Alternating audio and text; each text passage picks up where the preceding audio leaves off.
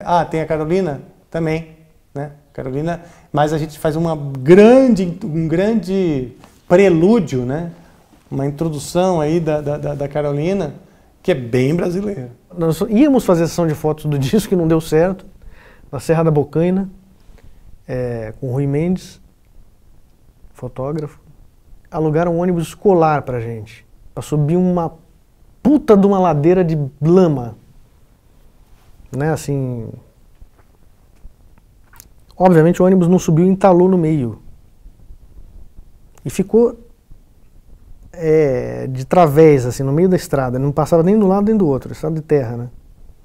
E lá em cima, né? A gente tava quase chegando lá. Que pegou, que o cara falou, não, vamos pegar o pôr do sol lá em cima, não sei o quê.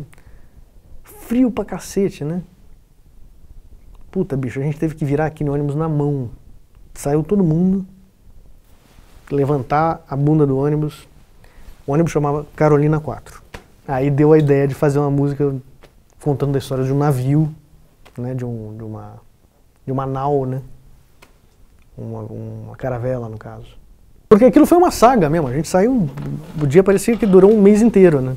A gente achou que ia passar a noite lá à mercê da, da, da fauna, né.